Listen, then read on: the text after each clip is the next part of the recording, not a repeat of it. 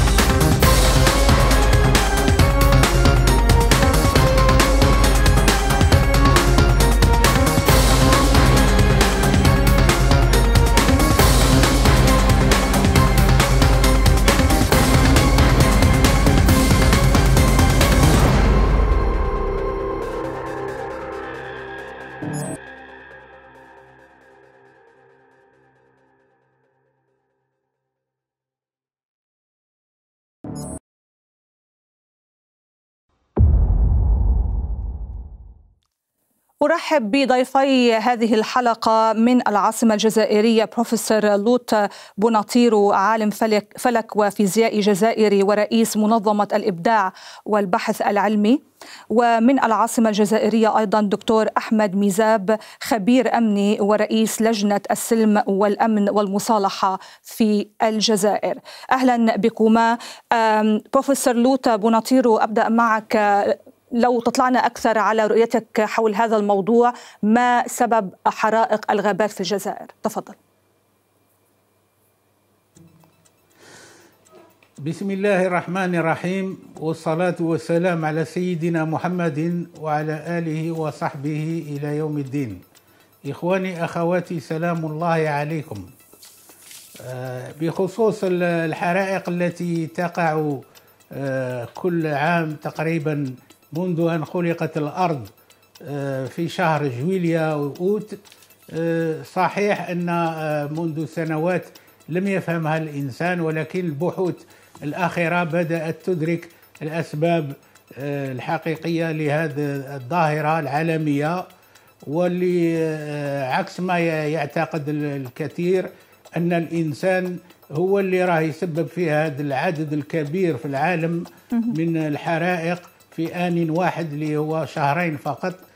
لكن الدراسات أثبتت أن فيه عوامل فيزيائية محضة تقع ولم نكن نفهمها من قبل وهي أن في هذا الشهر تكون حرارة اليابسة مرتفعة وفي نفس الوقت تسقط كما تعلمون يوميا ما يسمى بظاهرة البرق أو السواحق أو تب هذا النوع من الطاقة نعم. اللي تنزل يوميا ولكن الكثير من البلدان لا يحصيها لا يدري آه، أين تقع وكيف إلى غير ذلك فهذه الطاقة الكهربائية المرتفعة قد تشعل بسهولة الأشجار أو اذا الأمر علمي بحت بروفيسور. ساخن. طبعا خلال هذه الحلقة سنتعرف أكثر على الأسباب العلمية لهذه الظاهرة. لكن أنتقل إلى الدكتور ميزاب. دكتور رأيك فيما يجري في الجزائر ولماذا الذهاب إلى نظرية المؤامرة وأن هناك من يتآمر على هذا البلد؟ لماذا؟ وأيضا هناك أسئلة حول الأدلة على ذلك. شكرا اولا على هذا السؤال وتحية طيبة إليكم وإلى مشاهديكم الكرام وكذلك سعيد جدا بضيفك الكريم.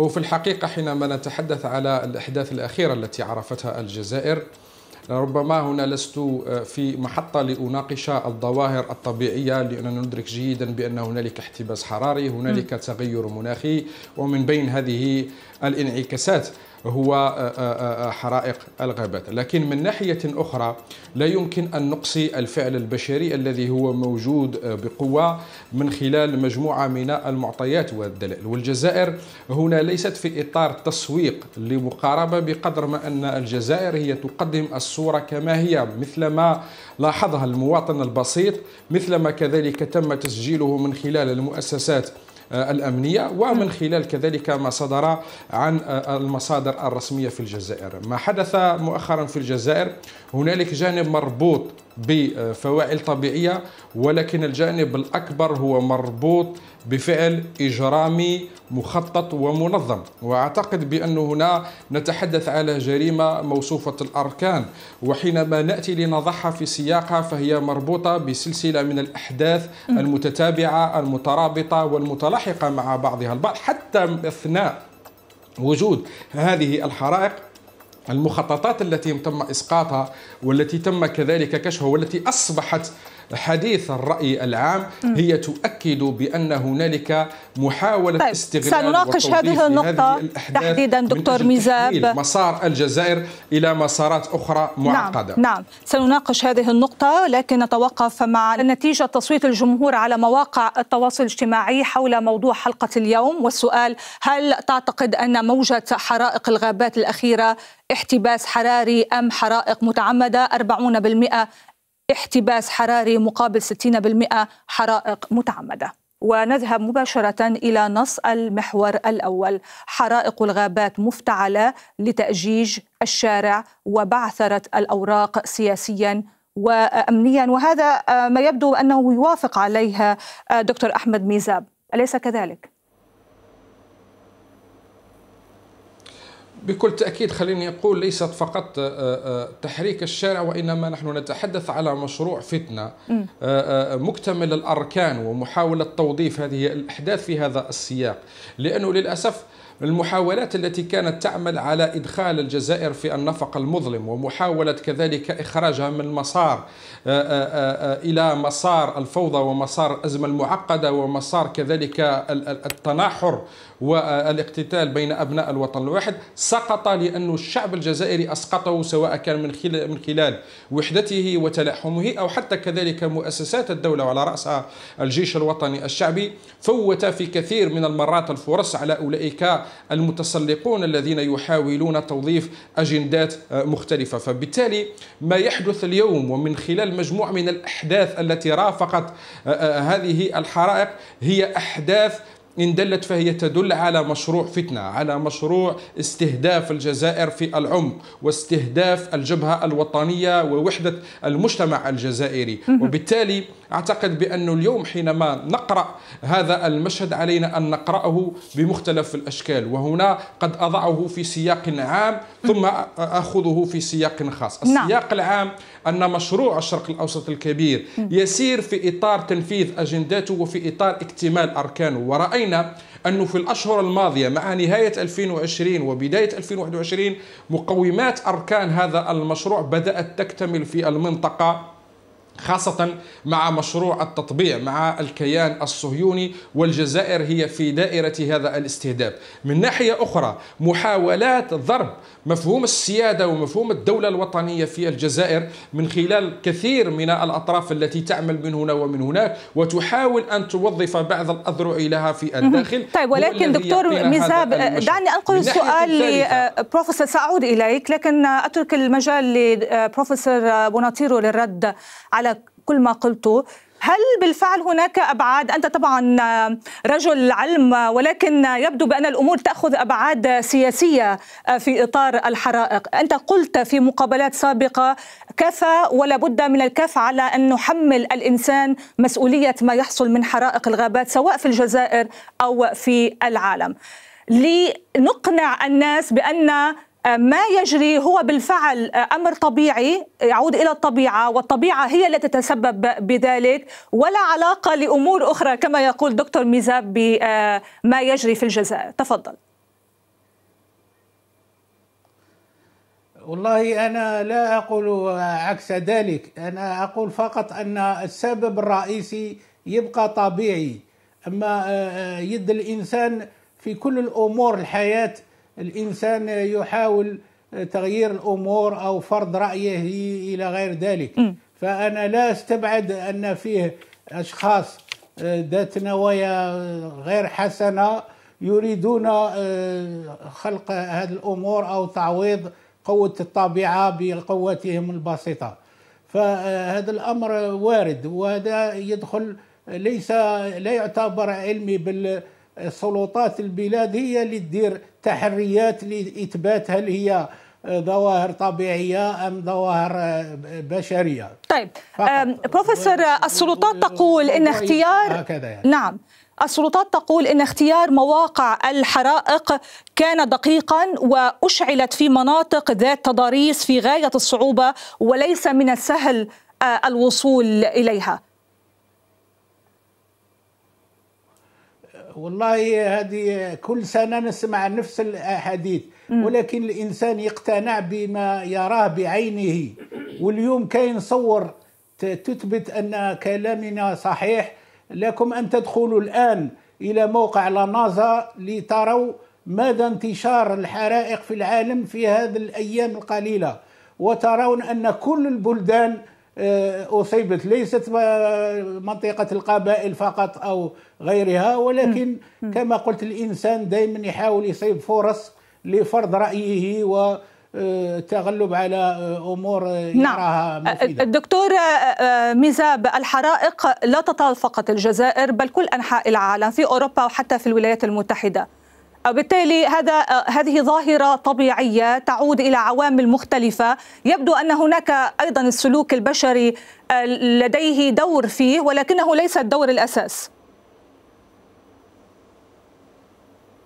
صحيح نحن نتحدث في فترة فيها حرائق مست العديد من النقاط خاصة الحوض المتوسط ولكن في المقابل تركيا كذلك أعلنت بأن هنالك فعل إجرامي ساهم في شدة هذه الحرائق. في الجزائر كذلك الحرائق لها كذلك جانبها الطبيعي المتعلق بالمناخ ولكن من ناحية أخرى كان هنالك فعل كذلك إجرامي مؤكد ومثبت ونحن في انتظار مؤكد ومثبت. أين الدليل؟ أين؟ الدليل؟ دكتور. دعيني سوف سوف م. سوف اتي سوف آتيك سوف أعطيك نقطتين أساسيتين نعم. النقطة الأولى أنه ليس من الطبيعي وليس من المنطقي انه أكثر من خمسين نقطة تشتعل في توقيت واحد في مناطق متفرقة وفي فارق زمني قصير جدا من ناحية ثانية ما حدث خلال هذه الأحداث وهنا أتحدث على حادثة الشاب الذي تم حرقه نعم. وابن منطقة عين دفلة. ومحاولة تصويب بأنه أحد الذين ساهموا في عملية إحراق الغابات. كل هذا كل هذا يعطينا تصور ويعطينا كذلك مشهد بأننا أمام فعل مدبر. أهدافه هي أهداف كبيرة باعتبار أنه لا يستهدف منطقة ولا يستهدف مدينة ولا يستهدف أفراد بقدر ما أنه يستهدف دولة بأكملها في إطار زرع. فتيل الفتنة والصراعات الداخلية. علينا أن ندرك ذلك وعلينا نستوعبه. قلت هنالك مجموعة من الأحداث المترابطة والمتتالية والمتعاقبة مع بعضها البعض التي تقدم هذه الصورة وتقدم كذلك هذا التصور. فبالتالي نحن هنا لسنا في إطار التهرب من المسؤوليات لسنا في إطار كذلك تقديم صورة مغايرة وإنما نحن نتحدث على كارثة أولا وطنية مست الجزائر. ومن نتاج هذه الكارثة كان هناك استنفار كل الشعب الجزائري في إطار تضامن وطني ومن ناحية أخرى كذلك نتحدث على مجموعة من المخلفات ومحاولات استغلال لهذه الأحداث للتسويق إلى إلى مسارات أخرى تهدف أمن وسلامة واستقرار هذا البلد. فبالتالي نحن نتحدث على صورة واقعية على مجموعة من المعطيات على كذلك قراءة منطقية لمجموع هذه الأحداث ولإنعكاسات. لأنني حينما أتحدث على هذه الحرائق أتحدث على خسائر اقتصادية على خسائر اجتماعية وعلى خسائر كذلك بيئية. فبالتالي ال الذي يقف أمام هول ما حدث في في في الجزائر في أكثر من ست ولايات متضررة بشكل كبير جدا سواء كان تيزي وزو بجاية الطارف سقهراس سكيكدا سوف يقف أمام محرقة حقيقية أمام سياسة أرض محروقة بكل الكلمة. فبالتالي من قام ومن حاول أن يستغل هذه الأحداث درس من كل المعطيات أولا من حيث ال ال الواقع الطبيعي إلى بقية التفاصيل، لذلك أعتقد بأننا نحن لا نتحدث على رواية بقدر ما أننا نتحدث على واقع معاش، نتحدث على شهادات مواطنين، نتحدث كذلك على توثيق، نتحدث كذلك على مجموعة من المعطيات الآن متوفرة لدى المؤسسات الأمنية، نتحدث على مسار تحقيق لا زال مستمر ونتحدث على أشخاص هم في قبضة السلطات الأمنية في انتظار انتهاء التحقيقات، لذلك لذلك نحن لا نروج لرواية ولكن نحن نتحدث على أزمة حقيقية ضربت الجزائر مخلفاتها مخلفات كبيرة. المشروع كان كبيرا إذا ما تحقق وهو مشروع فتنة. يستهدف الجزائر وندرك جيدا الكثير من الدول التي ضربت واستهدفت. كان فيه توظيف الفتن الداخلية لأنه ضرب الجبهات الداخلية هو أحد مقومات انهيار مفهوم الدولة. نعم بروفيسور بوناطير بالنسبة لما قاله دكتور ميزاب وهذا أيضا ما أكده وزير الداخلية عند زيارته ولاية تيزيوزو بأن اندلاع خمسين حريقا في نفس التوقيت من المستحيلات. التفسير العلمي لذلك هل يوجد تفسير علمي لاندلاع كل هذه الحرائق في آه، آه، توقيتات متزامنة؟ والله في هذه الأيام نحن نتكلم بآلاف وملايين الحرائق وليس بخمسين أو ثلاثين أو أربعين في منطقة معينة. فالأمر أكبر من ذلك وأخطر من ذلك ويجب استدراكه علميا. لأن كل الأمور التي تكون لها صبغة عالمية الحلول لا تأتي آه، محلية بل تكون آه، يعني حلول شاملة تحل المشكل. وهنا في هذا القياس لا أستبعد أن فيه جماعة صغيرة تريد استغلال هذا الوضع لإثبات آه، يعني ما تريده. شكرا لك. نذهب الآن إلى المشاركين معنا. عبر تطبيق زوم. عبير. آه، مرحبا عبير الجزائري فلسطيني لبناني مقيم بتركيا. بليز عندي سؤالين. هل ارتفاع درجات الحرارة هو السبب الرئيسي وراء هذه الحرائق؟ وهل الاحتباس الحراري هو السبب الأساسي؟ والسؤال الثاني إنه بعد هذه الحرائق يلي اندلعت بكل كذا بلد آه، شو ناتجة بالمستقبل؟ شكرا. شكرا عبير. آه، إذا سؤال عن ارتفاع درجات الحرارة. بروفيسور بوناطيرو ارتفاع درجات الحرارة السبب الرئيس. هذا هو أيضا وفق ما ذكره تقرير الأمم المتحدة الذي أشار إلى ارتفاع كبير في درجات الحرارة. وهذا يجري عادة كل خمسين عاما. الآن يجري كل عقد من الزمن. والله فيه ما يسمى هذا الكون ليس مخلوقا هكذا أو عبثا بل هو في انتظام سبحان الله الذي أتقن كل شيء. فهذا الكون له دورات ومن بين الدورات المعروفة هي دورة 11 سنة التي تتغير فيها الحرارة على سطح الأرض وبانتظام. ونكتشف من خلال من خلال الدراسات المناخية أن في علاقة وتيدة مباشرة مع كميات ما يسمى بثاني أكسيد الكربون أو غازات أخرى وارتفاع الحرارة معدلات الحرارية العالمية. هذا شيء معروف ومسلم به وهذا يزيد طنا بلا كل ما ارتفعت الحرارة العالمية إلا والكوارث الطبيعية بصفة عامة ومنهم آه، اندلاع الحرائق عبر الغابات نعم. هو أيضا يرتفع. آه، شيماء. شيماء من السعودية. أه لو سمحت أنا عندي استفسار أه بناء على زمان كان الواحد لما بيشوف أفلام خيال علمي عن الذهاب للفضاء كان آه، شيء من وحي الخيال. لكن من فترة طويلة من أكثر من عشر سنوات ظهرت آه، أفلام كتير بتقول إن الأقمار الصناعية عندها قدرة إنها سواء كان آه، الذبذبات المغناطيسية أو ما إلى ذلك إنها تؤدي لعمل بؤر حرارية أماكن مرتفعة درجة حرارتها على سطح الأرض م. فهل ممكن يكون الدول العظمى اللي هي عندها آه، آه، أقمار صناعية بتراقب كل حركة بقت متصلة بموبايل وبجوال وبساعة هل عندها قدرة إنها تعمل بؤر حرارية تكون هي سبب حريق غابات مناطق زي ديت ما بيوصلهاش أشخاص وفي نفس التوقيت ست ولايات في مدينة واحدة علشان تشعل فتن في دول أو علشان تضرب اقتصاد دول معينة. وشكرا شكرا شيماء. سيجيب على هذا السؤال دكتور ميزاب بعد قليل ولكن أخذ مداخلة أو سؤال آخر من فاطمة.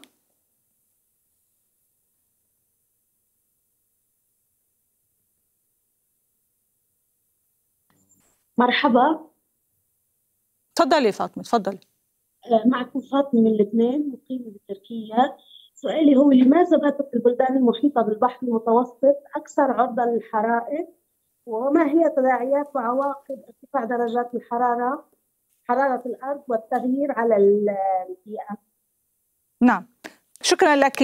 دكتور ميزاب لديك جواب على ما سؤال شيماء بخصوص أن هناك دول كبرى آه، يمكن أن تعمد إلى زرع بؤر آه، حرارية في بعض المناطق وهذا ما يتسبب في حرائق في بعض البلدان.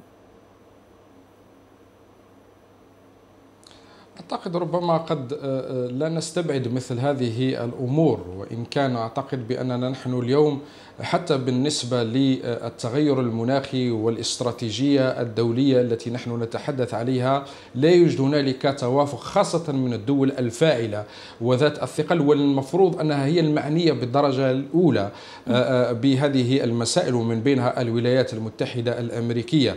وبدليل أنه في عهد الرئيس السابق دونالد ترامب كان هنالك انسحاب آه، للولايات المتحدة الأمريكية من المعاهدة وبالتالي نعم. نحن نتحدث أن هنالك شق مربوط بهذه في إطار التحولات العالمية والدولية وبالتالي توظيف مثل هذه المسائل في إطار مكاسب اقتصادية أو غيرها من المكتسبات هو مسألة واردة وموجودة في كثير من المحطات وقفنا أمامها شكرا لك بروفيسور بناطير بالنسبة لانتشار هذه الظاهرة آه، في دول الحوض البحر المتوسط هل من تفسير علمي لذلك؟ هذا غير صحيح يجب رؤية الخريطة اليومية العالمية لمواقع اندلاع هذه الحرائق ونجد أن كل مناطق العالم الوسطية ما عدا القطبين نجد فيها اندلاع حرائق فالموضوع ليس هنا. الموضوع كيف نتفادى أو نقلص الأضرار الناتجة على هذا المشكل ومحاولة فهمه. لقد قمنا بقفزة نوعية عندما فهمنا أن السبب الطبيعي الرئيسي هو الحرائق اللي تقع هي سببها النزول اليومي وأكرر كلمة اليومي في الصيف أو في الشتاء تنزل ما يسمى بظاهرة البرق أو الصواحق وهذه لها اثر مباشر حتى في الطرق العادية. الناس يشاهدون وهم يتنقلون بسيارتهم في الصيف يشاهدون أطراف الطرق آه، اندلاع حرائق صغيرة بسيطة. وهذه آه، هي نتيجه عن ما يسمى بظاهره التبريق اللي هي آه، بارق بقوة قصيرة جدا. لا لا يحدث حريق كبير ولكن يحدث بعض خسائر في الأعشاب يعني. اذا الحرائق منتشرة في كل أنحاء العالم وليست مقتصرة على دول آه، حوض البحر المتوسط. كل إنسان مم. يظن أنه في بلده هو نعم. الذي يحصل على العدد الكبير ولكن هذا خطأ لأن العلم يوضع خرائط يومية والجزائر ليست لها هذه الخريطة لا تاع البرق اليومي ويجب أنا طلبت أن تكون مصلحة تذيع هذه الخارطة يوميا مثل خارطة التغيرات الجوية. طيب حضرتك أشرفت على نظام إنذار مبكر ضد حرائق الغابات. ما فعالية هذا النظام؟ كذلك؟ هذا النظام آه، يساعدنا للتعرف بسرعة على مكان آه، اندلاع الحرائق لكي نذهب بسرعة أيضا لإطفائه قبل أن ينتشر ويمس مناطق أخرى. هذا هو المفهوم آه، الخاص بهذا الانذار الذي قدمناه كمشروع ابتكاري في صالونات الاختراعات العالمية ونلنا منه جوائز عالمية. ولكن الآن نبحث على من يقبل هذه الفكرة ونطبقها في مكان معين غابة ما زال مشروعا حتى اللحظة. شكرا لك. أعود إلى المشاركين معنا عبر تطبيق زوم. حياة.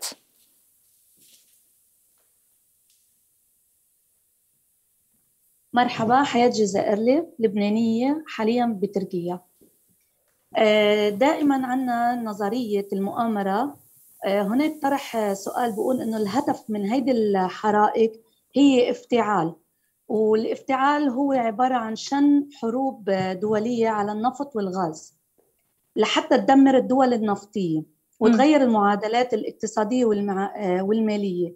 ما مدى مقبولية هذه الإدعاء؟ شكرا. شكرا حياة ياسر.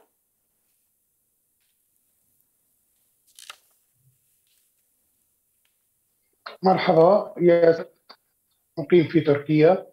أنا سؤالي كان إنه إحنا عم نحكي على الحرايق وعم نحكي إنه في افتعال وما افتعال من هالمنطلق هذا. ولكن بدنا ننظر من ناحية ثانية إنه في كمان فيضانات مثلا هون في بتركيا صار في حرائق وبشمال تركيا صار كمان في فيضانات. فبرأيي إنه هذا شيء ناتج يعني عامل كوني. ما في قصة افتعالات وما افتعالات وما الشغلات هيدي. يعني مش بس كمان زي ما تفضل المشارك اللي معنا قال إنه مش بس على صعيد تركيا أو لبنان أو سوريا فهي المشكلة مشكلة عالمية. نعم. شكرا ياسر حياة سأل الدكتور ميزاب عن الأهداف وراء افتعال هذه الحرائق آه، وأنت ذكرت بأن لما يجري تأثيرات اقتصادية واجتماعية وأيضا يعني قضت على آه، الغابيه في الجزائر مساحات واسعة. بالتالي هل هي مجرد سياسة أو تسييس للمسألة أم لها أبعاد أخرى؟ اولا أعتقد بأن الموضوع ليس مسألة تسييس وليست مسألة كذلك توظيف سياسي. دعيني ربما انطلق من مسألة أساسية. قد نتفادى الحديث على مصطلح المؤامرة لأنه في الكثير التي لديهم حساسية من هذا المصطلح. لكن خليني أقول بأنه لما نتكلم على حرائق مفتعلة فنحن نتحدث على مخطط مدبر. هذا المخطط المدبر الذي يسير بشكل منظم ومهيكل ويختار حتى كذلك التوقيت والسياق والتوظيف. له أبعاد وله كذلك مجموعة من الأهداف. نجد أنه في دول قد يكون له توظيف اقتصادي ودول أخرى قد يكون له كذلك توظيف سياسي وفي دول أخرى قد يكون له سياقات مرتبطة بأبعاد متعددة ومنها الأبعاد الأمنية. نحن إذا تحدثنا على ما حدث في الجزائر مؤخرا فنحن نتحدث على أهداف عميقة لا تستهدف فقط جانب اقتصادي استغلال آبار النفط وغيرها بقدر ما أنها تستهدف إلى تهويد مفهوم الدولة بكل مميزاته. واستهداف مناطق هي أصلا وضعت تحت مجهر الاستهداف منذ مدة يعني منذ قبل انطلاق هذه الحرائق. وهنالك رسائل مسمومة موجهة في إطار هذا الاستهداف ومحاولة خلق حالة من الانقسام الداخلي لدى المجتمع الجزائري. وفي حال وقوع هذا الانقسام معناه هناك تداعيات حتى مؤسساتية على استقرار البلاد ورأينا ذلك. لكن المفاجأة هو حينما كانت هبة الشعب الجزائري في إطار التضامن مع أبناء ولايتي تيزي وزو وبجاية مثلا ومختلف الولايات المتضررة. أزعج من كانت تشتغل وراء الستار ومن هي موجودة حتى خارج الجزائر وأطراف حتى خارجية. وبالتالي توجهوا نحو مشروع آخر ومثل ما حادثة حرق الشاب من من عند من عند دفلة إلا أحد الخطوات في إطار تغيير مسار هذا المشروع إلى مسار آخر. ولكن ما حدث كذلك أسقط هذا المشروع وأصبح كل الجزائريات والجزائريين متفقين اليوم حول مسألة بأن الأمر ليس أمر بريء وليس أمر عادي أو طبيعي أو يدخل في خانة الأمور العادية بقدر ما أننا أمام مشروع مهول مشروع صعب يتوجب أن نأخذ الحيطة والحذر. قد يتجاوز حتى المخاض الذي عرفته الجزائر في تسعينات القرن الماضي لأن هذا المخاض مخاض عسير مخاض كذلك مخاطره كبيرة حتى على الأجيال القادمة وعلى هذا الأساس. نعم. أعتقد بأنه حينما نتحدث على أن مثل هذه الحرائق تكون مفتعلة في إطار توظيف أجندات حتى لا أقول مؤامرة في إطار توظيف أجندات فنحن لا نتحدث هكذا بقدر ما نتحدث على تجارب أخرى. كذلك هي موجودة ورأينا انعكاساتها ورأينا مخلفاتها ورأينا تداعياتها. نعم شكرا دكتور ميزاب. سنتابع مشاهدينا الحديث عن أسباب حرائق الغابات في الجزائر وتداعياتها. نتوقف مع فاصل قصير ثم نستكمل النقاش.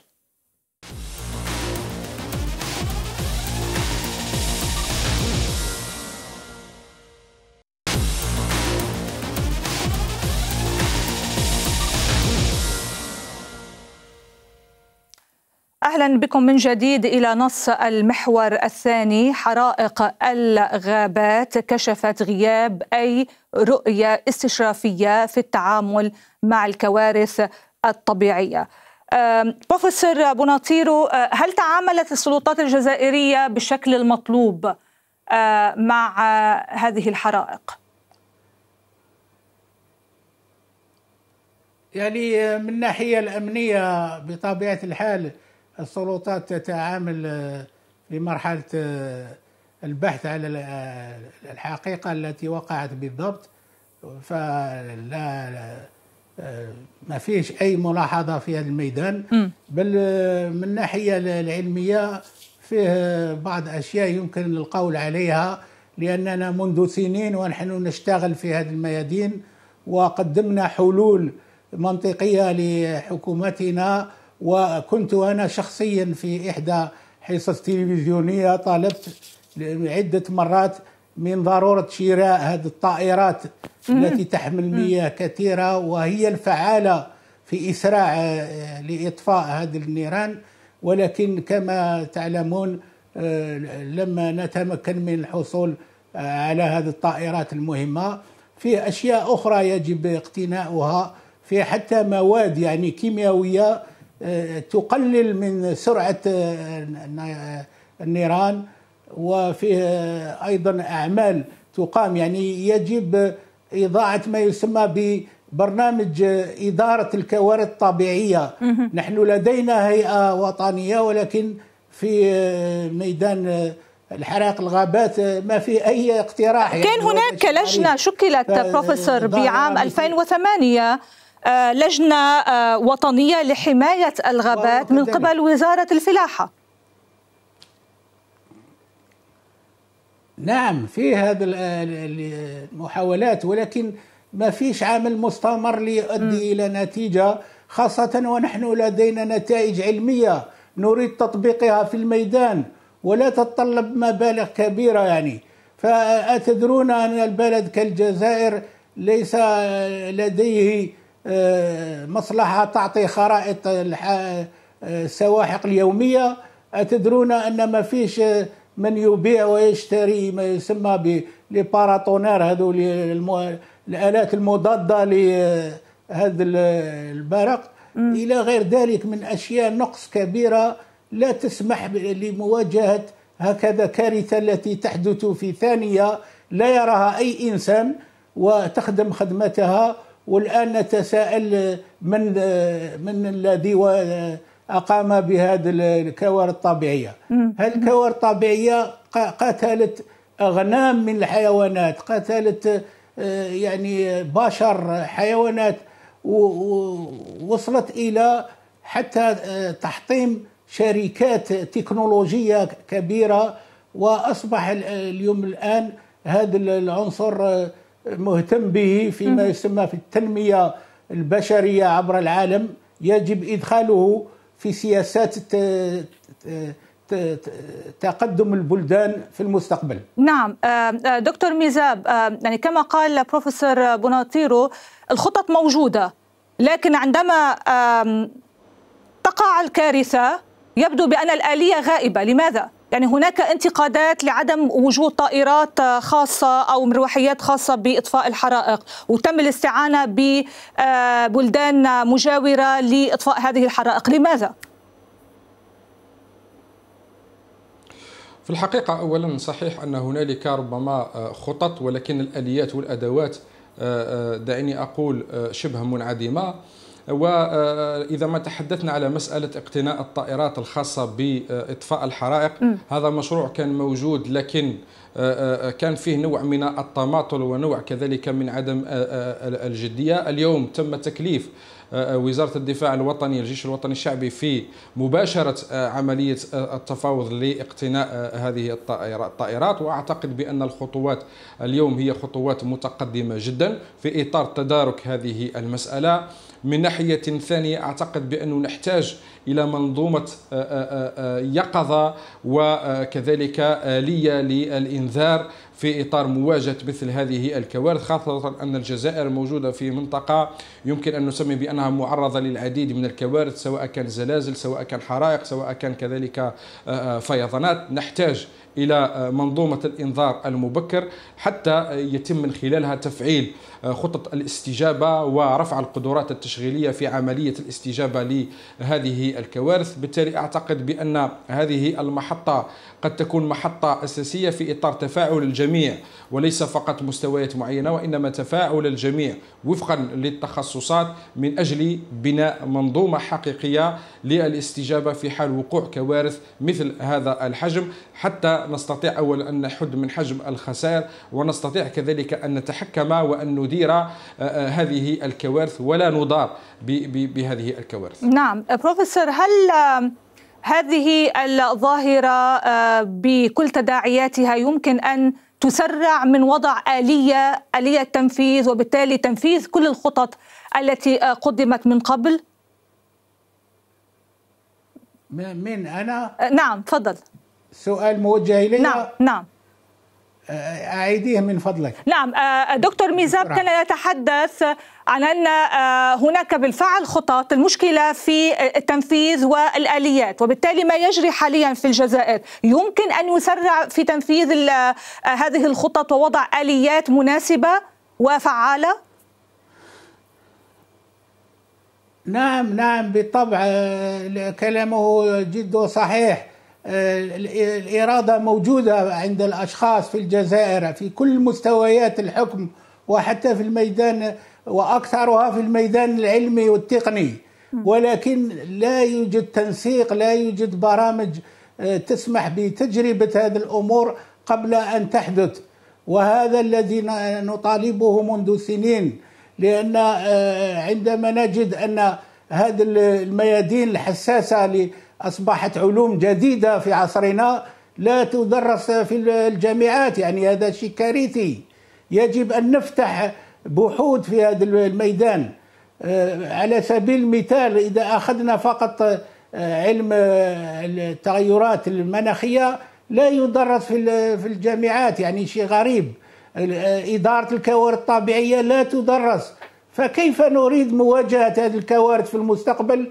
ونحن لا نفعل شيء نتكلم فقط وناخذ قرارات كبيرة لا ننفذها في الميدان. هذا شيء هذا هو مشكلنا نحن العالم العربي بصفة عامة. يجب أن تكون لدينا قيادات فعالة تريد التغيير والوصول إلى النتائج في أقرب وقت ممكن. نعم. نذهب إلى تطبيق زوم مع هدى. هدى تفضلي مرحبا. أنا كنت بدي أسأل سؤال عن بالنسبة لخطة المؤامرة اللي نحن كل العرب بنعيشها إنه بالنسبة للحرايق وهيك أكثر الشعب عم بقول إنه الحرايق وهي الأشياء مؤامرة. في شغلة بدنا ننتبه لها إنه نحن الفساد اللي صار بالدول العربية وبالدول الأجمع هو السبب بإنه هاي الحرايق والكوارث الطبيعية عم تصيبنا للبشر تتعظ شوي. م. يصير في تغيير بالعالم شوي. الفساد العالم عم بتموت بالشوارع نحن ما شايفينها بس شايفين شوية حرايق ممكن ممكن ما صار فيها كوارث قد ما عم بتصير كوارث بشر عم تعملها أكتر. شكرا هدى روان.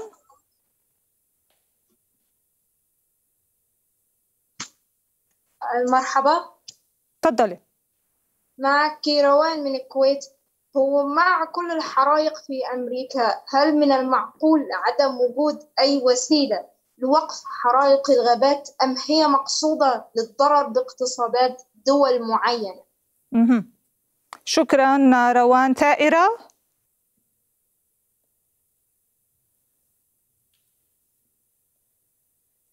طيب ثائرة ليست جاهزة. نعود إليك ثائرة. نذهب إلى ياسين.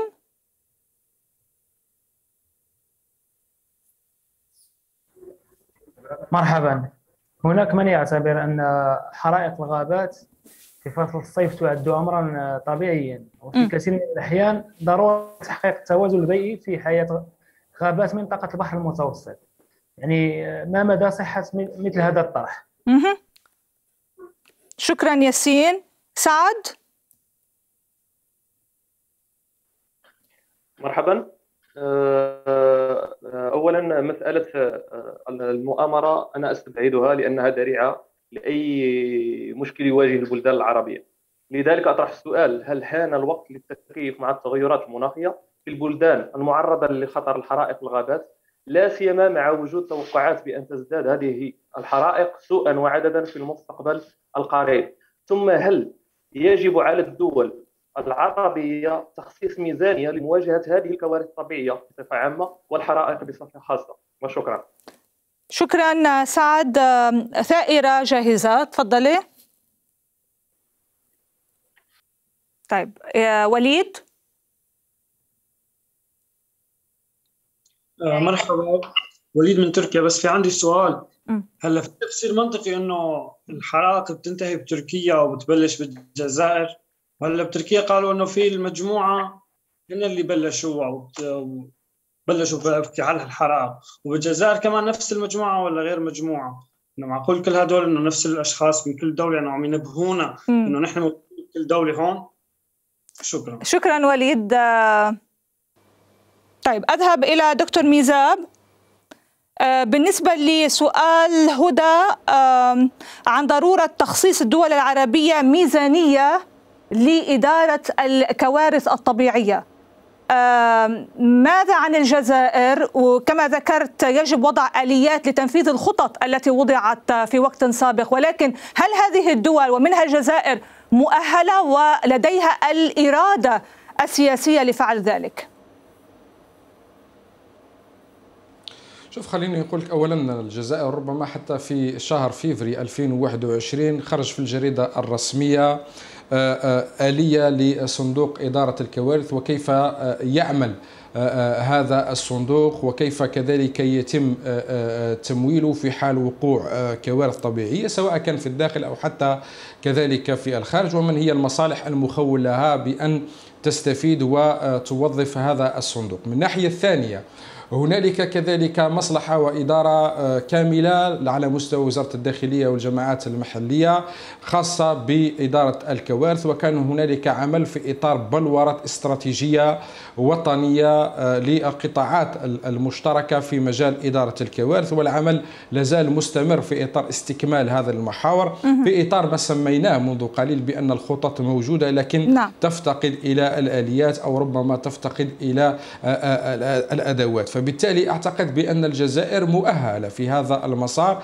وهي تخطو خطوات في هذا المجال وتحاول أن تستفيد من مجموعة من الدروس أعتقد بأننا اليوم نحن بحاجة إلى التسريع في الوتيرة حتى نكون على جاهزية قصوى لأي طارئ لأي كذلك حادث قد يحدث من ناحية أخرى أعتقد أنه أحد المتدخلين كان يتحدث على مسألة المؤامرة وغير وقلت أنا سوف أتفادى نعم. الحديث على نعم. نظرية المؤامرة لأن الكثير لديهم حساسية من هذا المصطلح الذي نظر له آه، من قبل منظرين آه، في فرنسا وسوق وبعد ذلك أصبح حتى آه، في التخصصات الاستراتيجية. سأتحدث على الخطط أو المخططات التي تستهدف دول أو توظف في إطار استهداف الدول أو في إطار إثارة النعرات سواء كان من الناحية الاقتصادية أو من الناحية الاجتماعية أو حتى كذلك سياسيا لأنه أي فشل في إدارة مثل هذه المسائل سوف يؤلب الجميع وبالتالي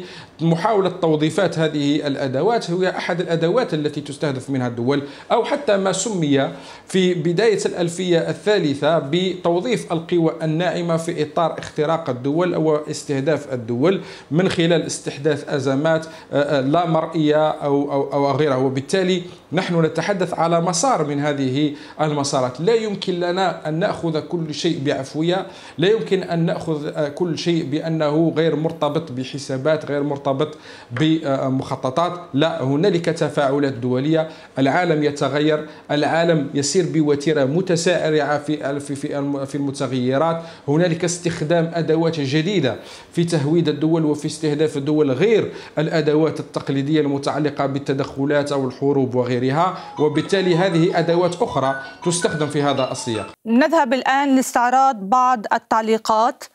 حول هذا الموضوع على آه، وسائل التواصل الاجتماعي ونبدأ مع نسرين التي تقول إن الرواية الرسمية الجزائرية بشأن الحرائق غريبة بحكم أن دول حوض المتوسط شهدت كلها حرائق متزامنة. إبراهيم أطراف خارجية هي من تعمل على زرع الفوضى في الجزائر وتأليب الرأي العام عبر حرق الغابات.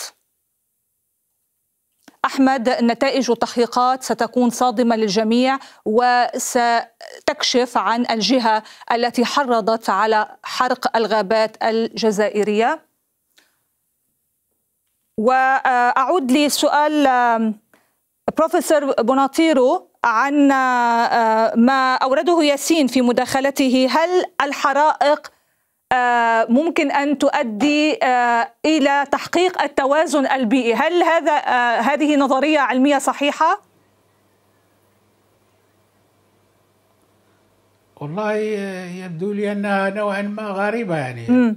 كيف أن عامل من هذا النوع يريد التوازن في في بلد؟ والله ربما هذا يريد التوازن في التغيرات المناخية لأن ثاني أكسيد الكربون سوف يشارك في الفصل الشتاء المقبل لكثرة ظهور الأمطار وغير ذلك أما من الناحية الاجتماعية أو سياسيه لا أرى ذلك يعني. شكرا لك نختم بتصويت الجمهور المشارك معنا عبر تقنية الزوم والسؤال هل تعتقد أن موجة الحرائق احتباس حراري أم حرائق متعمدة؟ هل موجة الحرائق احتباس حراري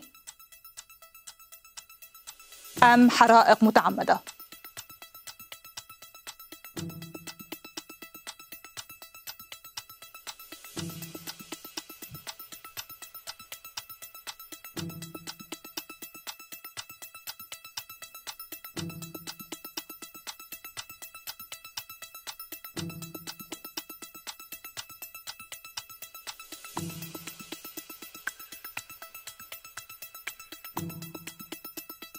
النتيجة 44% يقولون إنها احتباس حراري مقابل 56% يرون أنها حرائق متعمدة.